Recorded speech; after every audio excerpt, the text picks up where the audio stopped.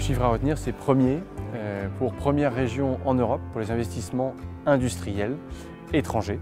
Euh, la région Auvergne-Rhône-Alpes a su, grâce à son attractivité, grâce au fait qu'elle est la première région euh, industrielle de France, se hisser à cette première place en Europe. Merci d'être présent en aussi grand nombre pour cette sixième Assemblée Générale annuelle de l'association Auvergne-Rhône-Alpes Entreprises.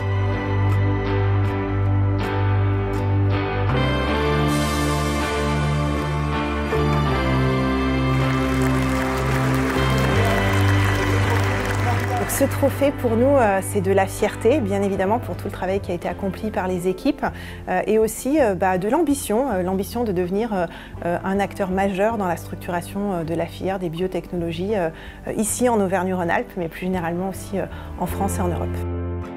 Donc le trophée qu'on a reçu aujourd'hui, c'est une fierté pour, pour l'équipe. C'est aussi une fierté pour la région d'aller shipper du travail aux Allemands et aux Anglais.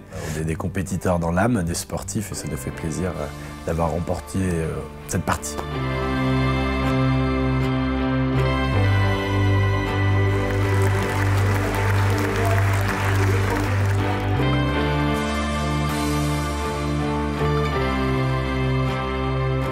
Principaux enjeux, c'est à n'en pas douter la relocalisation euh, pour protéger notre souveraineté et continuer à être le moteur de la renaissance industrielle en France.